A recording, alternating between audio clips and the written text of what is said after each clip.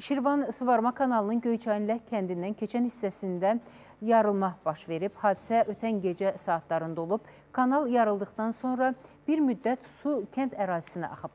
Dərhal əraziyə Şirvan Suvarma kanalının canlı qüvvəsi və texnikası cəlb edilib. Hazırda kanalın yarılan hissəsində bərpa işləri aparılır. Hüquq mühafizə orqanlarının əməkdaşları isə ərazinin və sakinlərin təhlükəsizliyini təmin edir.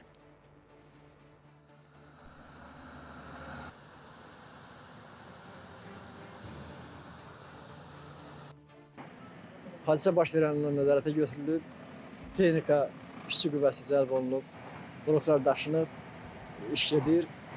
Sabah axşama kimi elə bilirəm ki, bu məsələ ortadan qaldırılacaq tamamilə.